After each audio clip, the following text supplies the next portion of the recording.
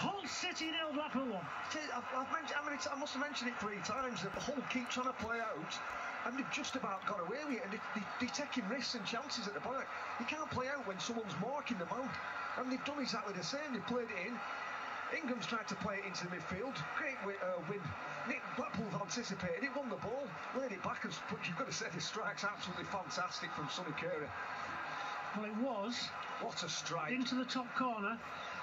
I was... think that will be his first league goal in well, Tangerine. Well, I'll tell you what, Molly White. what? Sorry, White. what a strike. It was an absolute.